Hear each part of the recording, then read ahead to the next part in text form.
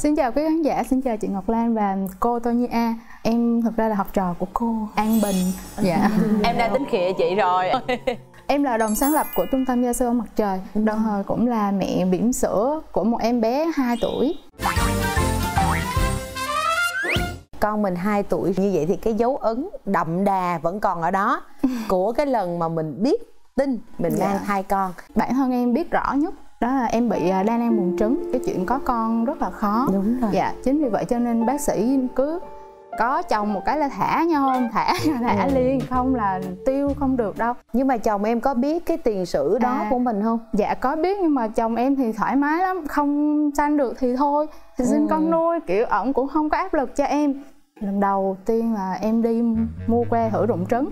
Người ta bình thường là tháng nào đều như vắt chanh thì nó dễ còn mình đa nang buồn trứng có khi buồn buồn là 3 tháng mới có mình đâu có biết được là lúc nào là, là là rụng trứng đâu. Đi ra tiệm thuốc tây lấy em lố hai chục cái. Rồi sau đó là 10 cái thử hai luôn chị. Chơi à, là chơi lố lố không? Em bữa đó cái người bán cho em họ có bình tĩnh không? Tại vì mua có nghĩa cái combo đó đi chung nó sai lắm. Trứng xong sau đó mới đến cái đoạn thử thai đằng này mua gì mà gom một lần hai món. Dạ. Ừ. à, chị hỏi em tính mua về bán lại hay sao em tính mua về bán lại hay sao? Bác sĩ có đầu cơ ha. Dạ đầu cơ ở đây. Rồi sao? Thuận rất là may mắn là làm phát dính luôn. Đó oh. em canh ờ, đến que thứ bảy thứ tám gì đó là thấy rụng trứng rồi là dính bầu lần một. Rất là háo hức tại vì tụi em là hoàn toàn sẵn sàng rồi mới cưới và cũng đã chuẩn bị tâm lý sức khỏe tài chính mọi ừ. thứ hết rồi để chờ đón con thôi. Thì ờ, đến tầm 8 tuần á đi siêu âm tự nhiên cái bác sĩ cứ ờ, dò đi dò lại hoài, xong rồi cứ không ổn mà em ơi. Mình chết đứng luôn á chị. Mình không biết nói sao nữa. Bác sĩ nói là thai này không có tim xong rồi thì kiểu như là đi ra nhìn thấy chồng á là không nói được gì nữa. Cứ thôi, đi về đi về. Sau đó thì cũng mất một vài tháng để dưỡng lại xong rồi canh tiếp lần tiếp theo. Cái đống que thử hai lần trước đó vẫn còn dư lại. Tiếp tục canh và tiếp tục may mắn dính tiếp. Có tim thai một cái kiểu cái lần đầu tiên mà nghe thấy cái, cái tiếng rụt rột ở trên máy uh, siêu âm đó mà mình nghe thấy có con một cái trời thì giống như là tối đó về không ngủ được. Cứ nằm tưởng tượng lại cái cảm giác lúc đó. Mọi thứ cũng êm ả đến ờ, 28 tuần thì bác sĩ uh, siêu âm nói giờ đo tim thai thì thấy có một cái nhịp đập bất thường. Kiểu lúc đó rất là sợ tại vì em có một cô bạn là ngay cái tuần 26 cũng có một nhịp đập bất thường. Và đi kiểm tra lại thì con của bạn em bị ờ, thiếu mất một ngăn tim á và không sau này cũng không giữ được bé. Sợ khủng khiếp giống như bị dọa vậy đó. Rồi ờ, đi kiểm tra tim thai thì bác sĩ nói đó chỉ là báo động giả thôi. Tiếp theo là à, đa ối nè 35 tuần thì trời ơi cơn gò liên tục liên tục mọi người cứ tưởng là đẻ rồi bác sĩ tưởng đẻ luôn. Phải chích trưởng thành phổi ít vận động lại ít làm việc lại. Em có tưởng là đẻ tới nơi rồi. 35 tuần bắt đầu chuẩn bị đồ đi đẻ các thứ đầy đủ hết lúc nào cũng tinh thần là chạy thôi. Đợi đến 40 tuần không thấy động đậy gì. Ừ. Ờ, 40 tuần một ngày bác sĩ nói thôi dục sinh ừ. chứ giờ sao giờ không không có một cái dấu hiệu gì là muốn muốn sanh hết trơn trời ơi em nằm trên giường hai cô y tá nói với nhau chứ hết kim 18 rồi giờ dùng kim 22 được không ừ. Rồi.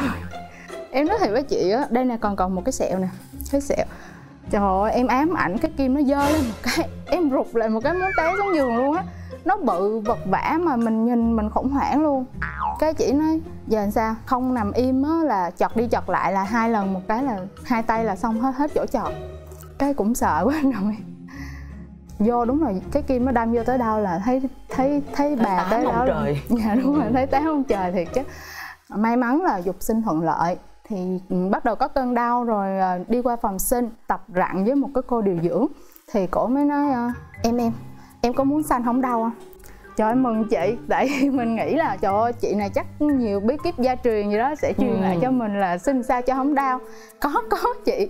Chị nói à, kêu chồng vô ký tên đóng tiền. À, lúc đó mình mới uh, ngó ra à là là đi chích gây tê ngoài màng cứng đó ừ. chị chồng em cũng cứ chạy ra chạy vô sao em nhắm chịu nổi không? Chịu nổi không? Em nói uh, được được chắc được. Lúc đó năm mười phút một cơn đau vẫn được. Trời ơi 5 phút sau túm túm áo cô điều dưỡng chị chị ngoắc ngoắc chồng em vô ký cho em chịu hết nổi rồi. Bác sĩ gây tê đi vô cái bàn xanh á nó rất lạnh, lạnh. chị? Nó là một cái bàn kim loại đúng nằm rất là lạnh mà cái thuốc gây tê ngoài màng cứng vô một cái là toàn thân nó buốt luôn nó ừ. lạnh buốt mà em lại còn tụt huyết áp nữa. Cái bác sĩ gây tê xong thì đi ra đi ra xong chồng em túm tay túm chân lại không bác sĩ không được đi giờ là đứng đây theo dõi cho vợ em chứ vợ em là huyết áp thấp đi vậy là không được giờ không cho ông đi đi. Bác sĩ giờ năn nỉ bác sĩ chứ vợ em huyết áp thấp bác sĩ đi lỡ có chuyện gì sao? Ừ. Cái ổng cũng uh, ok ổng đi ra đi vô kiểm tra cho mình liên tục 5 phút một lần 5 phút một lần. Cái ông nói trời ơi nhắc em chồng em đứng ngoài túm quần túm áo đâu có cho tôi đi ổng nói là trời ơi ký tên vô tờ giấy đó còn hơn là lúc ổng đi ký hợp đồng nó còn căng thẳng hơn để có được con thì mình yeah. Dạ. cũng trải qua rất là nhiều những cái biến cố như vậy yeah. Dạ. thì bản thân những cái lung lạc tinh thần về những cái biến cố đó đó thì chồng em có có thể hiện rằng là ảnh cũng cảm thấy lo lắng cho cái điều đó hay là ảnh cũng cảm thấy áp lực với cái điều đó không chồng em giống như là con trai một mà cũng nghĩ là lúc mà quyết định cưới em là kiểu có một số người cũng nói vô là hay thôi bào trước đi rồi cưới nhưng mà cho dù có áp lực thì một mình ổng chịu chứ chưa bao giờ thể hiện cho em là à, em phải chịu những cái áp lực như vậy. Ổng nói với ba mẹ nói với mọi người là à, không sinh được thì sinh con nuôi có sao đâu. Ừ. nuôi con ai mà không được. Bản lĩnh ha. Bản lĩnh. Dạ. thực ra là em biết đến cô Tonya cũng nhờ tìm hiểu khá nhiều về tâm lý đó. Ừ. đó chồng em là học ờ, một khóa trầm cảm sau sinh nè rồi chồng thì... đi học nha chứ không phải vợ nha à, ừ. rồi tiền thai tiền sản ừ. rồi uống thuốc uh, vitamin chích ngừa các thứ là chuẩn bị đủ hết rồi như vậy thì cái ngày mà đi sanh thì cái vai trò của chồng em cũng không nhỏ đúng không dạ đúng rồi ừ. nhưng mà cái dấu hiệu để mình có thể xách đồ vô bệnh viện là cái gì dạ không có một cái dấu hiệu gì cả đến à. ngày dự sanh rồi mà bây giờ không sanh thì thôi xách đồ đi thôi chứ chứ cũng biết con là... coi ngày đồ không coi không. ngày hôm nay đẹp nè đi chắc vui nè có không dạ không cũng mặc đồ đẹp lồng lộn xong ừ. rồi đi vô cười tươi nghĩ trời mình đọc thấy ta nói là mỗi người túm lấy một khung cửa mà đu nhưng mà đi vô phòng thấy phòng sinh dịch vụ đẹp sáng à. sủa tương bừng mình nghĩ trời lát nữa đu chỉnh mình chừng trời lát nữa đu chỉnh mình chừng cuối cùng là với cái cơn đau đó thì thì uh, hiểu là thế nào mà người ta đưa ra những gọi là có những cái truyền thuyết như vậy dạ, đúng không? đúng rồi. leo cửa sổ giật tóc chồng xé áo đồ các thể loại. Nói thiệt với chị là chích cái gây tê ngoài màng cứng xong thì mình không còn cảm giác đau đẻ nữa. mình không biết lúc nào là phải rặn hết. Cứ khi nào bác sĩ kêu rặn thì là rặn thôi. Ừ. làm liên tục như vậy gần 2 tiếng đồng hồ không không đẻ được. Nằm trên giường rặn đi mạnh lên rồi rạch đi em không không khoan đừng rạch. Rồi cứ như vậy lặp đi lặp ừ. lại chưa được. Cái bác sĩ phụ là đứng đè đẩy, đẩy giống bộ. như rặn phụ mình vậy đó đến 6 giờ luôn. Tim thai là giống như nhịp đập rồi là giảm xuống rồi yếu rồi. Chùm đầu mổ vô chùm đầu mổ vô. Lúc đó mình nói trời ơi nhỏ dữ trời. Vừa vừa đau đẻ mà vừa đau mổ. Bác sĩ nói giờ chỉ còn một cơ hội nữa thôi rặn một phát nữa không được thì là đi mổ không có nói nhiều nữa. Rồi làm một phát ra luôn con tới ba ký sáu năm mươi trời à. ơi mẹ lên chưa đến 10 ký oh. mà con tới ba ký sáu năm mươi mẹ em đẻ thường được chồng em trời ơi giỏi quá em ơi lúc đó là chồng có vào phòng sanh với dạ, mình có. không cái giây phút khi mà bác sĩ lôi em bé ra ừ. rồi để lên trên người mình dạ. cái cảm giác đó của em như thế nào lúc đó em không còn sức để khóc nữa ừ. nằm nước nước mắt tự chảy thôi ừ. nói trời sao mình giỏi quá sao mình đẻ được một em bé dễ thôi bác sĩ thì cứ luôn mừng trời ơi đẹp trai quá con ơi lúm đồng tiền nè một lúm đồng tiền hai lúm đồng tiền đẹp trai quá con ơi mà sao không giống mẹ giúp trơn vậy à. em bé của em vừa giống ba vừa giống ông nội không giống em một tí xíu nào. Vậy rồi chị nghĩ chắc có lẽ là cái sự đón nhận của ông xã em ừ. á nó cũng sẽ rất là mãnh liệt tại vì không? em kiệt sức nhưng mà ông đâu có kiệt đúng sức tại vì ông đâu có rặn gì đâu. Vậy thì sau khi mà đặt da kề da với mẹ thì thì thì ba như thế nào? Tại vì ba được vào phòng xanh mà. Dạ lúc đó thì em bé yếu quá em bé phải theo bác sĩ qua phòng dưỡng nhi. Ừ. còn à, ba ở lại nắm tay mẹ. Chăm mẹ. Trong lúc mọi người khóc thực ra cho cái um, ấn tượng đó là cái ấn tượng xấu xí nhất mà mình nghĩ là sao mình lại để cho chồng mình nhìn thấy một cái cảnh mình xấu như vậy nhưng ừ. mà sau này ngẫm lại nói chuyện với chồng thì cũng thấy là bởi vì thấy được cái khoảnh khắc đó thì biết quý trọng gia đình hơn biết quý trọng vợ hơn ừ. chứ còn nếu mà không nhìn thấy thì không thể nào cảm nhận được kể lại cỡ nào cũng không thể cảm nhận được thật ra thì cũng rất là cảm ơn cái sự tiến bộ hai chị ha của xã hội đúng rồi. để uh, tạo điều kiện cho các ông chồng có thể vào phòng xanh. Đúng. Xanh cùng với vợ vượt cạn cùng với vợ để có thể nhìn nè cảm nhận nè và sẽ hiểu rõ hơn về cái sự vất vả và đau đớn kể cả cái sự thay đổi về mặt thể xác của một người phụ nữ. Chứ ngày xưa á mình không thể ngồi đây mình nói rằng là thời nào đúng thời nào sai. Nhưng mà nó sẽ có những cái đặc điểm. Chị lấy ví dụ như ở nhà chị chị nghe kể nha làm má chồng chị ba chồng chị siêu thương má chồng chị. Nhưng mà theo như má chồng kể là hồi má chồng sinh á từ sinh chồng cho đến sinh em chồng là ba chồng không được vào bệnh viện luôn. Chứ không phải là không được vào phòng sinh đâu. Vì ở nhà quan điểm là chỗ đó không phải là chỗ của đàn ông con trai. Đúng rồi. đàn ông con trai thì không có nên đến cái nơi mà phụ nữ sinh. Dĩ nhiên là họ sẽ có những cái lý do để họ nói về điều đó. Nhưng mà rất tiếc á nó đã tạo nên cái gì? Nó tạo nên cái sự miễn trừ trách nhiệm của nam giới thực ra để ai đó mà rung cảm với một cái sự đau đớn nào đó, hoặc là họ biết yêu thương một ai đó, thì họ phải được thấy, hoặc là chí ít là họ phải có một cái trải nghiệm gì đó mà nó thực sự là của họ đó. Về cái điều đó, nhưng mà cái lối giáo dục ngày xưa, nó đã làm cho nam như giới là mặc nhiên rất là hợp lý luôn, đứng ngoài cái nỗi đau của phụ nữ. Mà đúng như lan nói, tức là chúng ta phải cảm ơn những cái thay đổi mà ở đó người phụ nữ thực sự họ được chia sẻ nhiều hơn và nam giới cũng được cơ hội để trưởng thành nhiều hơn. Cái này là là con tạm ờ, nhắc các cô các cô chứ không phải các bạn nữa. Tại vì khi mà mình mình làm mẹ chồng á nó có nhiều lý do để các cô mặc nhiên bảo vệ con trai. Chuyện đó về lý lẽ thì nó cũng gọi là nó cũng không có gì phải khó hiểu. Nhưng mà như thế này nè các cô đừng sợ rằng là khi con trai mình à, chứng kiến con dâu mình sinh cái tự nhiên nó thương vợ nó hơn, cái nó bỏ rơi mình, nó có một cái nỗi sợ như vậy từ các từ các cô là đang ở vị thế mẹ chồng. Thực ra các cô hãy nhìn ở một cái góc nhìn khác đi, đó là khi con trai của mình chứng kiến được cái hành trình vượt cạn của vợ mình á. Lúc đó là lúc mà con trai mình hiểu rằng ngày xưa mẹ mình đẻ mình ra đó, nó đã nó đã khó khăn và nó đã vất vả như thế nào và điều này có nghĩa là rất nhiều người phụ nữ được hưởng lợi từ cái trải nghiệm của anh ấy. Chứ không chỉ là có những cô con dâu đâu.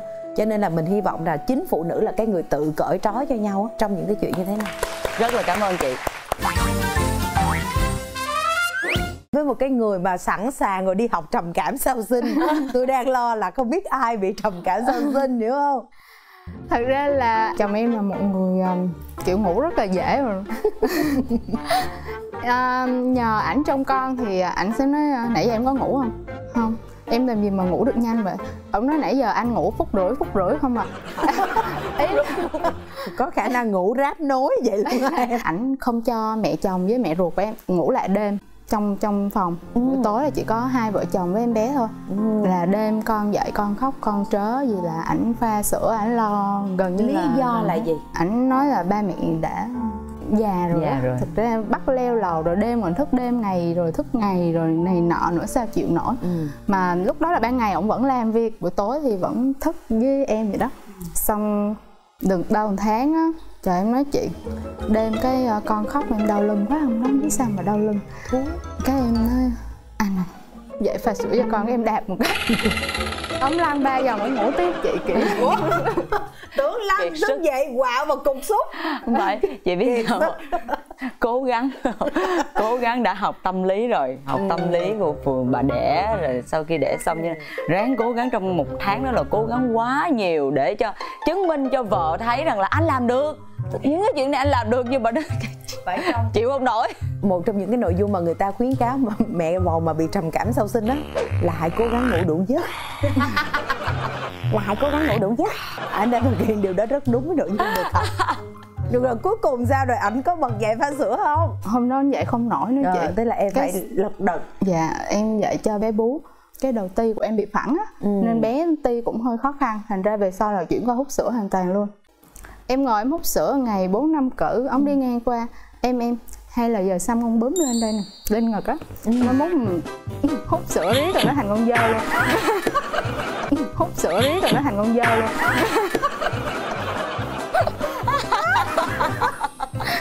Trời ơi, em ơi, ở đây ở đây thật sự sáng tạo và là một người có thể vui trong mọi hoàn cảnh dơi thì dơi mà dơi. vẫn thương nha vẫn thương con dơi nha. Rồi ơi tôi vẫn không hình dung được cái sự thay đổi cơ nó dù nó thương như thế nào sao con bướm thành con dơi.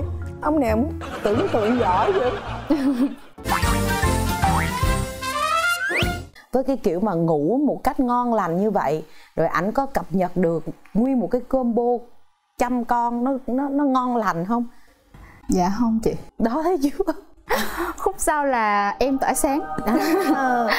thực ra là mọi chuyện vẫn cứ êm đềm tại vì ai cũng biết là sanh con xong sẽ có 6 tuần trăng mập mà ừ. là con ngủ suốt mà.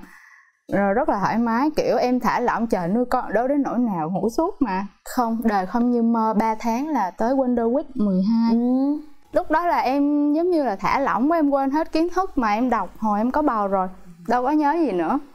Trời ơi ảnh ngủ ngày cày đêm ba bốn đêm liên tục rồi tới đêm thứ năm cái anh thức tới đâu năm sáu giờ sáng cái anh mới ngủ thì lúc đó hai vợ chồng cũng mới gà gà ngủ được xíu bật dậy. Ui không thấy con đâu. Hai vợ chồng phi như lò xo vậy nhìn xuống gầm giường. Tại vì cứ tưởng là ảnh đã lọt xuống gầm giường rồi. Nhưng mà thực ra là không phải. Ông bà nội nghe nó khóc quá mà hai vợ chồng ngủ như hai cái uh, cục đất sét vậy đó. Cho nên là bế nó đi luôn. Bắt đầu xem lại rồi từ từ ở đầu tiên là thiết lập lịch, lịch sinh hoạt cho Đúng con rồi rồi à, luyện cho con tự ngủ ừ. cho con ăn theo giờ theo cử chứ không phải là hứng lên thì ăn ừ. cho con ngủ xuyên màn đêm là ừ. bằng cách là cati đêm cho con ừ. thì tự nhiên thấy trời ơi cái cuộc đời bỉm sữa nó sung sướng ừ. con nề nếp đâu ra đó mà đêm là ngủ thẳng tới sáng ba với mẹ đợt đó vợ chồng em cài hết nguyên bộ chúa tể của những chiếc nhẫn luôn. Trời ơi. Trời ơi tôi tưởng đâu là hai vợ chồng cày nhau. Trời ơi tôi đang tôi đang hình dung tới cái giai đoạn đó tại vì nuôi con khỏe quá mà tôi tưởng hai vợ chồng cày nhau rồi. cũng phải có một ca con ngộ gì chứ cô Lan. Bây giờ sao? Tới, tới trong trong bao nhiêu lâu thì chúng ta mới có thể cày bừa lại với nhau nè? À trước tiên là nó có duy trì trong thai kỳ không đã à, dĩ nhiên là có rồi ừ. nhưng mà nó sẽ hạn chế lại ừ. à, từ sinh đến uh, khi mà quan hệ lại là cũng phải 5 tháng 5 tháng lúc ừ. đó kiểu em cũng hơi tự ti một chút ừ. nghĩ là trời ổng nhìn thấy hết trơn cái lúc mà mình đẻ là mình xấu quắc à ừ. mà trong khi đó là mình nghĩ mình sinh thường mà con thì bự rồi mình sẽ nghĩ là nó sẽ ừ. không được như xưa không ừ. không thoải mái. Em là bị ngủ đau là nó thấp hơn người khác cho nên là em ám ảnh tới tận 4 tháng mấy năm tháng luôn thì bữa đó ông hỏi em tha thiết không em mới được chưa em? Tha thiết sao em? Em mới được chưa? Ông hỏi em sẵn sàng chưa? Em em ừ. được chưa? Thì ừ, bữa đó rồi chuyện ấy đã xảy ra. Ừ. mà bản thân em có cảm thấy thoải mái không nhận cái lần đầu tiên thì thực sự là cũng không thoải mái lắm. Dần Căng dần thẳng. thì em nhận ra là thực ra là cái vấn đề mà tình dục ấy nó cũng là một cái chiếm một cái vai trò rất là lớn trong cái chuyện Chính hạnh phúc gia đình. Cho nên mình nghĩ là mình không thể nào vì những cái ích kỷ của mình á ừ. mà mình kiểu chỉ nghĩ cho mình được thì mình phải nghĩ cách để mình thay đổi cái đó. Dạ thì mình mới có thể cân bằng cuộc sống được người mà em muốn nhắn gửi nhất đó là ông bà nội ông bà ngoại và chồng của em bé Sushi nhà em. À, xin gửi những lời cảm ơn và biết ơn chân thành nhất. Bởi vì là mọi người đã hỗ trợ đã ủng hộ đã giúp đỡ vợ chồng con rất nhiều trong cái chặng đường làm mẹ bỉm sữa vừa qua dễ thương quá à. cảm ơn vậy. Rất là đơn giản nhưng mà thật sự ra nó rất là khó nói nếu như chúng ta đối diện với nhau đúng không? Tại vì cái phong tục tập quán là những cái thói quen của người châu á là chúng ta khó để mà mở lời ra mở lòng ra để chia sẻ với nhau về những cái cảm xúc của mình. Cũng rất là cảm ơn bạn về ờ, sự chia sẻ thẳng thắn ngày hôm nay. Cũng cảm ơn ông xã của bạn đã đồng hành cùng với bạn trong suốt cả cái thời gian bạn mang thai. Cũng như là đến ngày hôm nay thì con đã được 2 tuổi hơn rồi. À, cảm ơn những cái điều tử tế mà chúng ta đã dành cho nhau.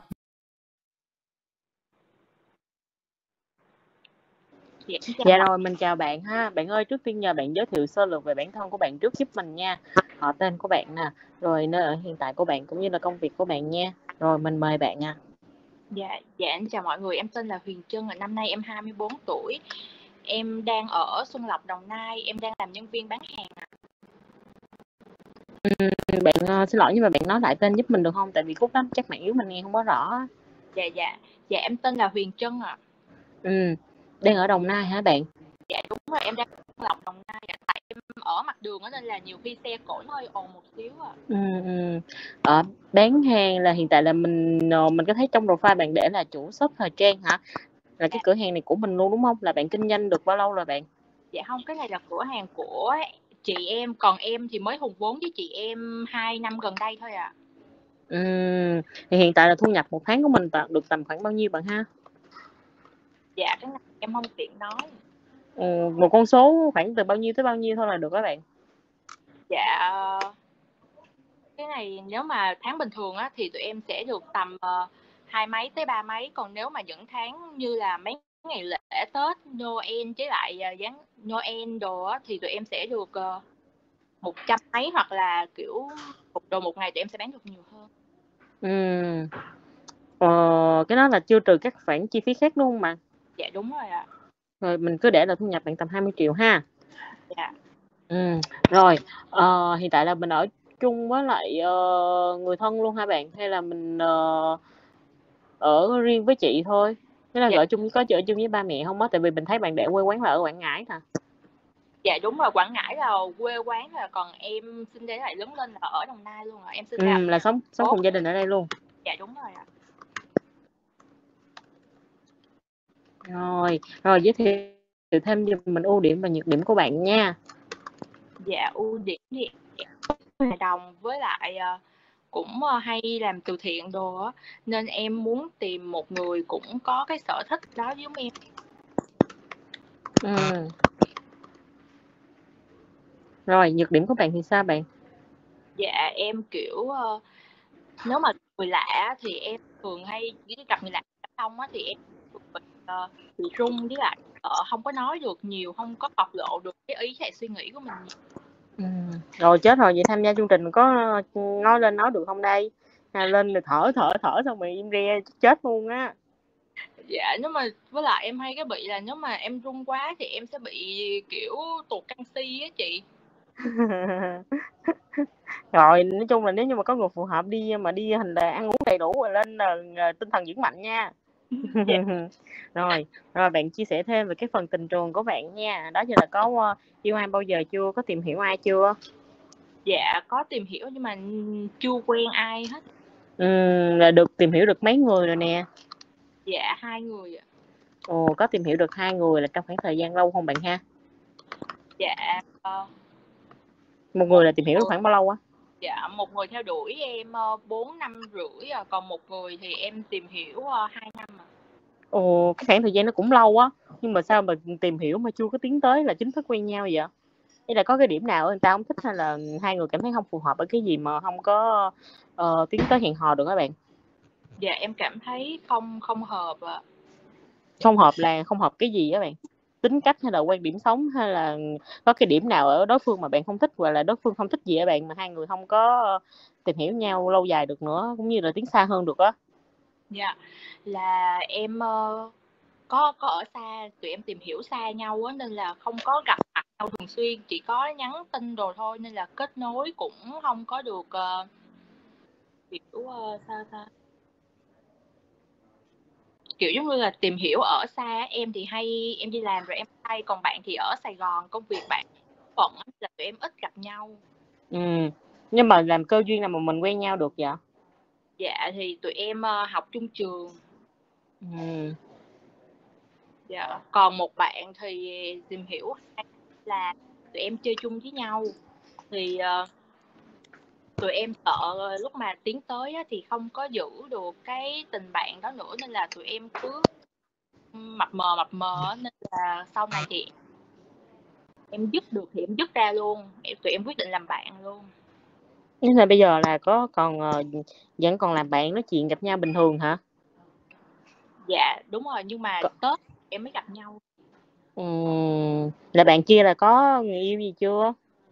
Dạ chưa ạ giờ cũng chưa luôn rồi còn vương vấn vương vấn gì hôm nay là dứt hoàn toàn chưa là ai là người ờ, nói câu chính thức và chấm dứt đây dạ em ạ ừ, rồi bạn đó phản ứng sao bạn dạ thì kêu ờ ờ, vậy thôi thì tụi mình vẫn làm bạn nói vậy thôi ừ. nhưng mà cái bạn đó là cũng ở gần bạn đúng không dạ đúng rồi cái bạn em tìm hiểu hai năm là bạn bè chơi chung á thì ở ừ. Ừm. Thì cũng ngại, kiểu, ngại, ơ, mất đến mất tình bạn cho nên hông có tiến tới hả? Dạ, tại tụi em chơi với Ừm. nhau, tụi em biết nhau, chơi nhau thì cũng từ lớp 9 rồi. Ừm, rồi bây giờ bạn miêu tả, ơ, hình mẫu lý tưởng của bạn khi mà bạn tham gia chương trình, bạn muốn tìm một người như thế nào đi? Dạ, em muốn tìm một người cao tầm 1m75 trở lên, tại em thấy thích, kiểu, cao hơn em nhiều á, để, kiểu, có, kiểu, chở che á chị. Ừm. Dạ, Ừm. người nhìn, ờ, ngoại hình thì thanh tú, gọn gàng, ăn mặc gọn gàng với lại nhìn sáng sủa một chút à. Ừm. Rồi gì nữa hông bạn? Tuổi tác, tính cách, công việc, quê quán? Dạ, công việc thì, ờ, em hông có kỳ thị hay là công việc gì hết công việc nào cũng được hết, miễn sao lo được cho bản thân mình với lại nhà mình là được rồi. Ừm. Dạ, còn quê quán thì em thích ở miền Nam, tại miền Bắc, miền Trung rồi em thấy xa quá, em sợ bị bất đồng quan điểm lại Ừm. em em hông thích quen xa nữa, tại em có tìm hiểu một người ở xa rồi là Ừm. Dạ. Ờ, bạn là đạo Công giáo hả? Dạ, đúng rồi, em ở đạo Công giáo ạ. Ừm, là bạn nam, ơ, nếu mà hông có theo đạo nào có ô kê hông? Dạ, nếu mà tìm hiểu thì kê, còn nếu mà cái sau này thì, ờ, kết hôn á thì em vọng bạn có thể, ơ, theo đạo được. Ừm, cái đó là chuyện tương lai ha, nếu như mà tìm hiểu phù hợp thì hai bạn tự trao đổi với nhau nha.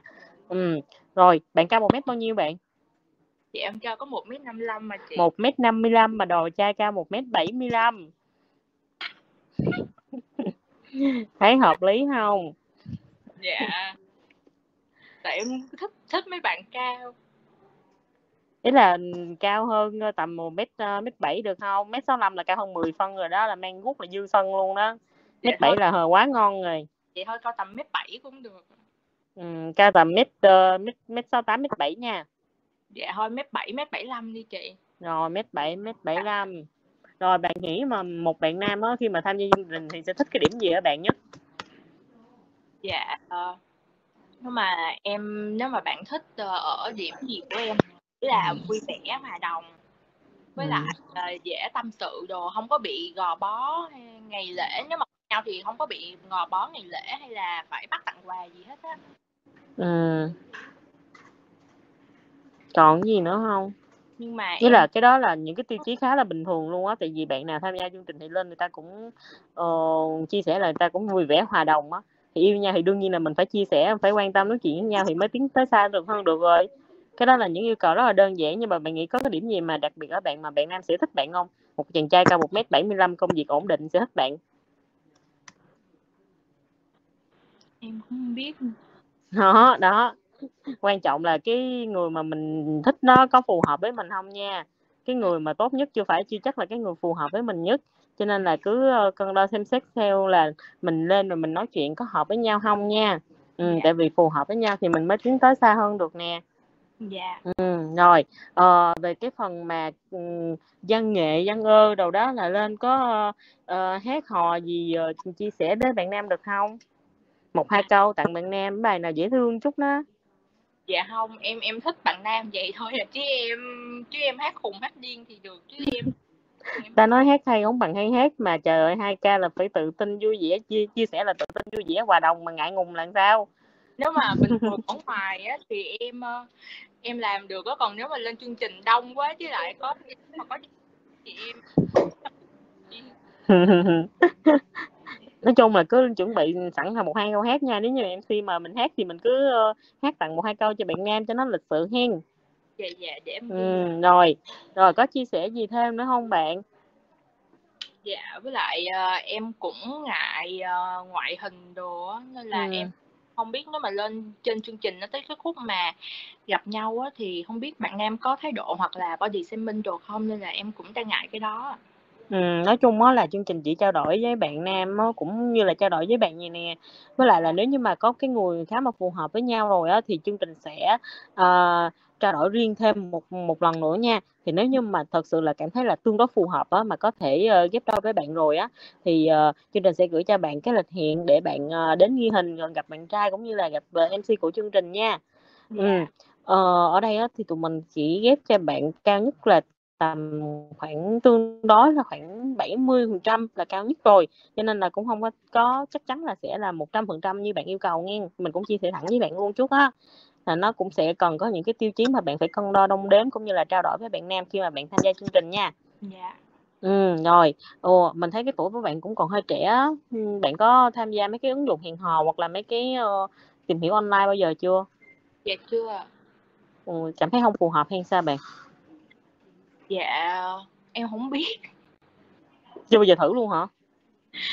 Dạ chưa. Hôm hôm bữa lúc lúc đầu á mấy năm trước thì em có thử một cái Tinder bạn em kêu là em tải Tinder đi. Tại bạn em tải Tinder xong rồi cái nó quen được người yêu cùng chơi game đồ cái nó cũng kêu em tải thử. Mà sao lúc mà em tải lên á cái em nhìn em thấy sợ quá em thấy người ta bắt em á cái em sợ quá em xóa. Mà cái là ừ, rồi có gì thì nếu như mà có cái người phù hợp thì bên chương trình sẽ liên hệ lại với mình sau nghe. Dạ. Dạ rồi cảm ơn bạn ha. Cảm ơn ừ. bạn nhiều ạ. Dạ vâng. Bye bye bye bạn. Dạ.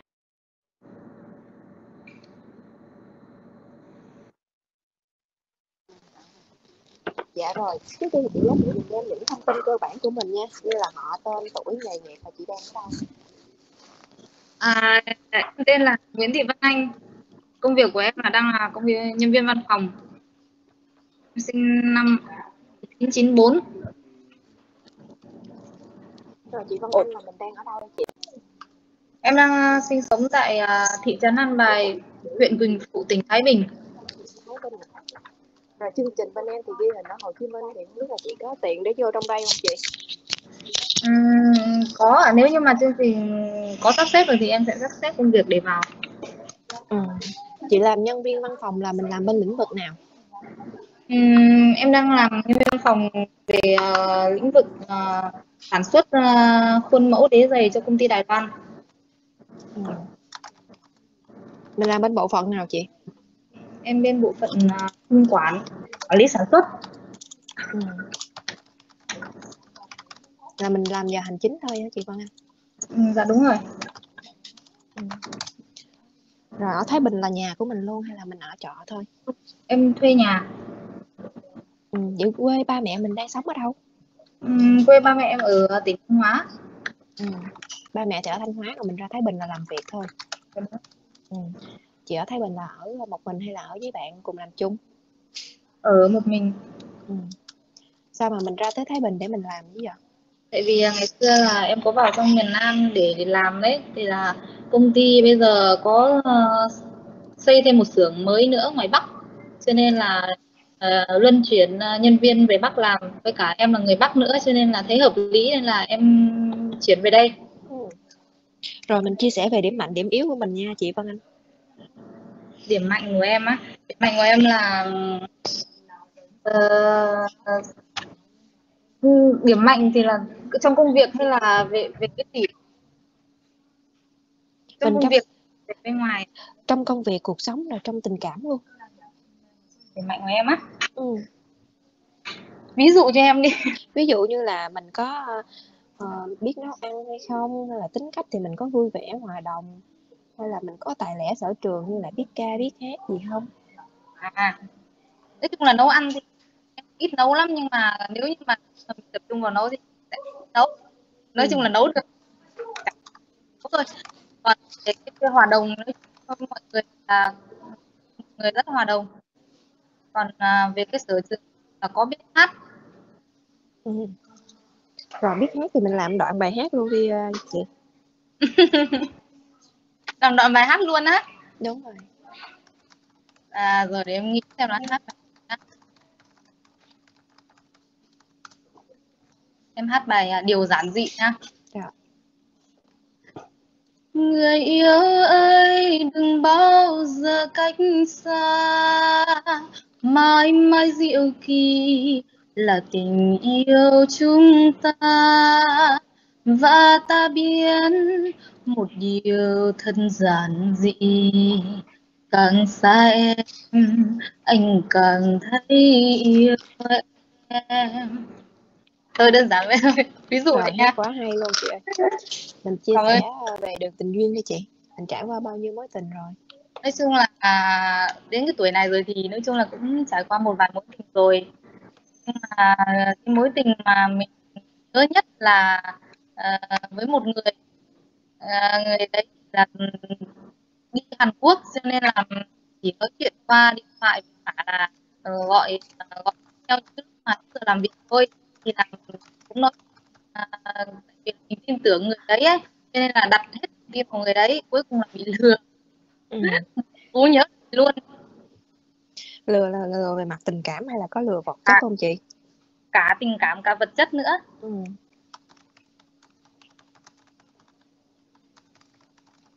Rồi mình chia sẻ tiếp đi chị vật chất là hôm đó mình nên đóng mượn tiền hay là sao à, và trong à, trong cái, um, cái cái thời gian đấy thì là anh ấy bảo là ờ, anh à, thiếu tiền nữa uh, cho lo cho công việc thì là lúc đấy thì em cũng có một tiền dành dụm với cả là mượn bạn bè để cho anh cuối cùng là là, là cái tiền thôi lúc ừ. đấy là cưới à, sau Ừ. cái mối tình đó thì cách đây bao nhiêu lâu rồi chị mối tình đấy đến bây giờ à, đến bây giờ chắc phải à, năm sáu năm rồi sáu năm. Ừ. đây năm sáu năm rồi thì từ đó tới nay thì chị có quen thêm ai không? Cũng có quen nhưng mà thấy hợp rất nhiều vào vào vào vào con trai ấy. Là ờ, ít khi mở lòng cả không muốn nói chuyện tập trung vào công việc cả.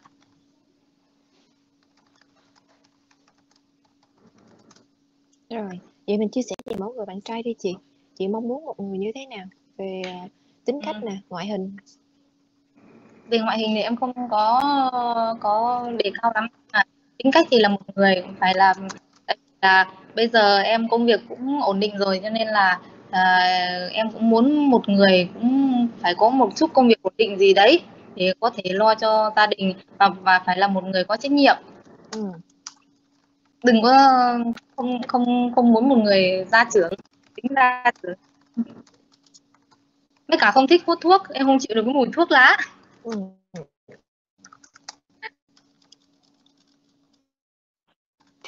cho em hỏi xíu để là xác định là cái anh đó ở Thái Bình luôn hay là là chị muốn về quê Ừ. ở Thanh Hóa hay như thế nào là quanh đây có Hà Nội cũng được Thái Bình Nam Định Hải Phòng đều được hết. Ừ. không nhất thiết là phải là Thái Bình.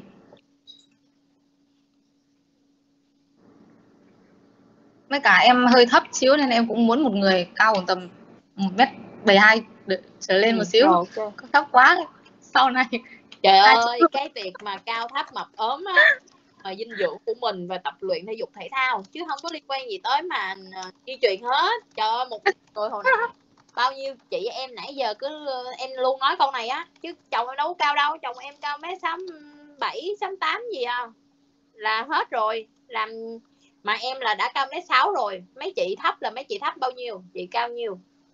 Em có mét năm ba à? Ừ thì là anh đó cao mét sáu lăm trở sáu lăm là cũng được rồi chứ cần chi mình tới mét bảy như vậy? Chủ yếu là chị đẻ con ra chị có chăm sóc hay gì dinh dưỡng cho nó chu đáo hay không thôi chứ con em em rất tự hào nha. Nó mới có 21 tháng 22 tháng thôi mà nó một mét rồi.